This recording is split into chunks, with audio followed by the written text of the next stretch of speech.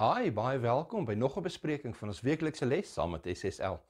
Ons is by ons derde kwartaal vir 2023 en ons kyk hierdie kwartaal na Efesiërs. Hoe om Jesus in uitdagende tye te volg. Ons kyk hierdie week na les 12 van 9 tot 15 September. Die oproep om staande te bly. Ons gee teksvers van ons in Efesiërs 6 vers 10 en vers 11. Dit lees: Eindelik my broeders, word kragtig in die Here en in die krag van sy sterkte. Trek die volle wapenrusting van God aan, sodat jy staande kan bly teen die liste van die duiwel. Efesiërs 6 vers 10 en 11. Ek lees weer. Uiteindelik my broeders, word kragtig in die Here en in die krag van sy sterkte. Trek die volle wapenrusting van God aan, sodat jy staande kan bly teen die liste van die duiwel. Efesiërs 6 vers 10 en vers 11. Kom ons open met gebed.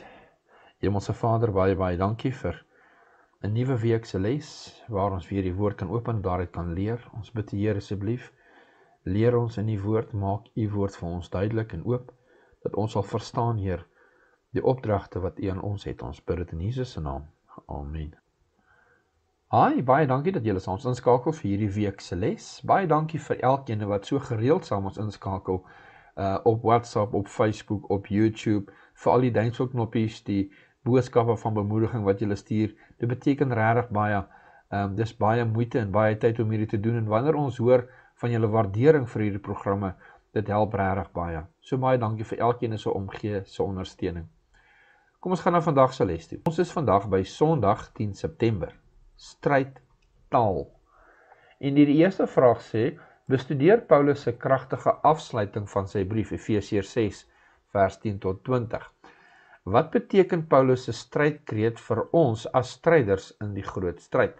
Kom ons kyk Efesiërs 6 vers 10 tot vers 20. Dit sê: Eintlik my broeders, word kragtig in die Here en in die krag van sy sterkte. Trek die volle wapenrusting van God aan sodat jy staande kan bly teen die liste van die duiwel. Want ons worstelstryd is nie teen vlees en bloed nie, maar teen die owerhede, teen die magte, teen die wêreldheersers van die duisternis van hierdie eeu, tot die booste teen die bose geeste in die lig. Daarom neem die volle wapenrusting van God op, sodat jy weerstand kan bied in die dag van onheil, sodat jy alles volbring het. Eintlik broeders, word kragtig in die Here en in die krag van sy sterkte. Trek die volle wapenrusting van God aan, sodat jy staande kan bly teen die liste van die duiwel want ons worstelstryd is nie teen vlees en bloed nie, maar teen die owerhede, teen die magte, teen die wêreldheersers van die duisternis van hierdie eeu, teen die bose geeste in die lig. Daarom neem die volle wapenrusting van God op, sodat jy weerstand kan bied in die dag van onheil en nadat jy alles volbring het, staande kan bly. Staan dan vas, julle lendene met die waarheid om God, met die borswapen van geregtigheid aan en as skoene aan julle voete die bereidheid vir die evangelie van vrede.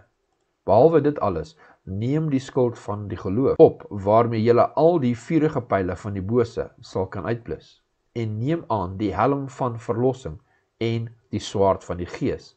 Dit is die woord van God. Terwyl jy met alle gebed en smeking by elke geleentheid bid in die gees en juis daartoe waak met alle volharding en smeking vir al die heiliges en vir my sodat 'n woord my gegee mag word as ek my mond oopmaak om met vrymoedigheid die verborgenheid van die evangelie bekend te maak waarvoor ek 'n gesant is in kettinge sodat ek daarin vrymoediglik mag spreek soos ek moet spreek.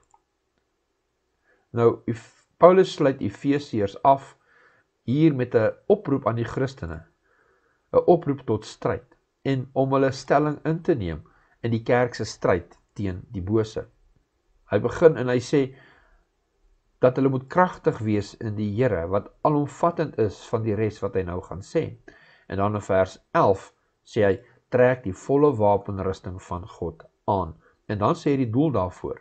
Hy sê sodat jy staande kan bly teen die liste van die duiwel. En dan in vers 12 sê hy dat hierdie stryd wat ons voer is nie teen vlees en bloed nie, maar dit is die bose geeste in die lig. En dan herhaal hy weer dat die gelowiges die volle wapenrusting van God moet opneem en weer eens sodat hulle kan staande bly. Lendene om God, 'n borswapen skoene, 'n skild, 'n helm en 'n swaard. So moet hulle die volle wapenrusting van God dra en dan gereed wees en wanneer hulle gereed is, dan moedig hy hulle aan van vers 18 tot vers 20 om te bid. Om te bid en te waak.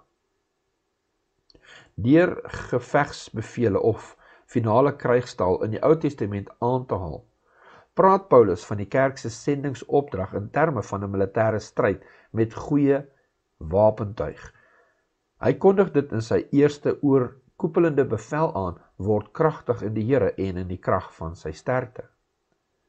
Krygstoesprake is gereeld in die Ou Testament gebruik en ons vind dit in plekke soos byvoorbeeld Deuteronomium 20 vers 2 tot 4, Rigters 7 vers 15 tot 18, 2 Kronieke 20 vers 13 tot 20, 2 Kronieke 32 vers 6 tot 8 en Nehemia 4 vers 14, vers 19 en vers 20. En in elkeen van hierdie word die gedagte beklemtoon dat hulle sukses in hierdie oorlog nie te doen het oor hulle eie wapens of gevegsmag of gevegsvermoë nie. Oorwinning was eerder verseker deur hulle afhanklikheid van die teenwoordigheid van die krag van God. Die sleutel tot sukses was nie vertroue op wat hulle kon doen nie, maar 'n vaste vertroue op God se krag en sy voorsiening vir hulle sukses. En dan spoor hy hulle aan om 1 aktief te wees in hulle strewe om die kerk se sending uit te voer. 2 om te let na dit wat ongesiens op hulle lewens en getuienisse inwerk.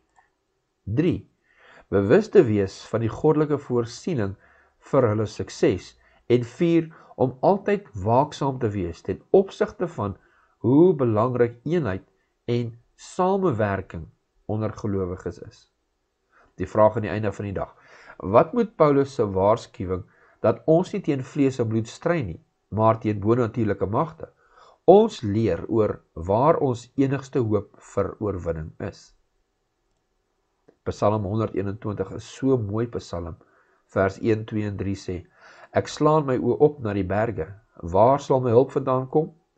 My hulp is van die Here wat die hemel en die aarde gemaak het. Hy kan jou voet nie laat wankel nie. Jou bewaarder kan nie slymer nie. So moet ons ons hoop op die God van die geeste, die skepper van die hemel en aarde, van alles wat bestaan. Ons hoop op Christus hou.